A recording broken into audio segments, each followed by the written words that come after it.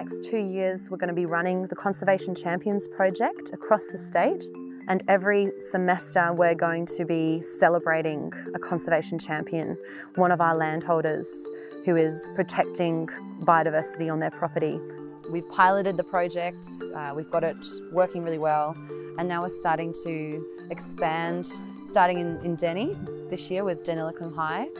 I think the project is a real one of, one of a kind for students out here and this is potentially the first time they've ever even heard of the word biodiversity and seen an example of it in their landscape and that's pretty powerful. Really important to get kids from this local area to come out and meet landholders like Ken and Jill. They're such inspiring people and they're really passionate about what they do. Uh, they have revegetated a whole sandhill. The kids have been able to walk amongst all this fully mature revegetation and get an appreciation of the bush that's in their local area. It's a nice place to be. It, it, it was didn't used to be like this, but they planted all this and, and made it natural and all the animals just came in.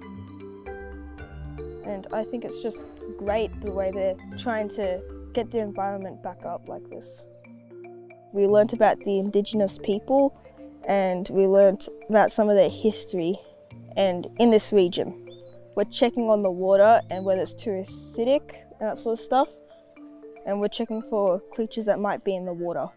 Because they have a place in the environment. They, they have a reason for being here. When I drag my finger through there, you can see the sediment suspended in the water. Yeah. So what do you think it is? I feel like you need this sort of conservation. So like here at Jill's and Kenny's, like they've got a certain area that's just left natural vegetation. So yeah, we've learned, been learning all about that and like the biodiversity of the land. That's right, symbiosis.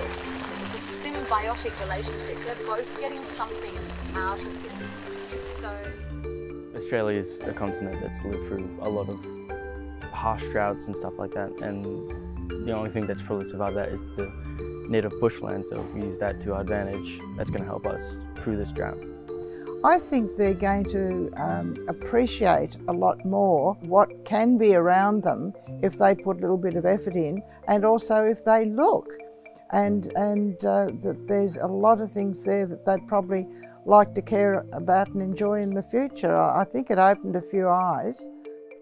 It's really important, especially with young people. I mean, they're the future landholders of this region.